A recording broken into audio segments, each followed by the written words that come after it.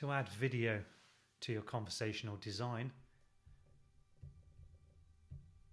create a new message, send a message, web media. You'll notice you've got two options, image and video. Select video. You'll see this message to enter the video URL. Hit share, embed, and the address you're looking for is here. Copy that, back to your design, paste, and preview.